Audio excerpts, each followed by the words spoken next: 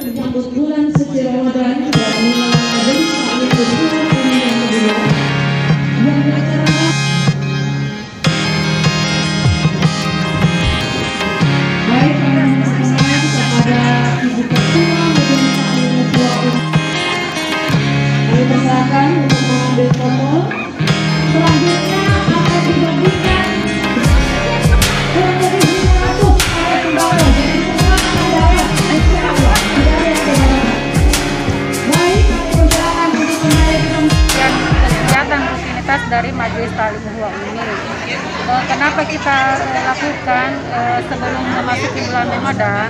Kami selaku Majelis Talim Dua ini mengharapkan agar pada saat eh, hari pertama di bulan puasa atau bulan suci Ramadan keluarga atau saudara-saudara kita yang kebetulan eh, nasibnya tidak seperti kita ini dapat menikmati atau merasakan eh, indahnya memasuki bulan Ramadan dengan mendapatkan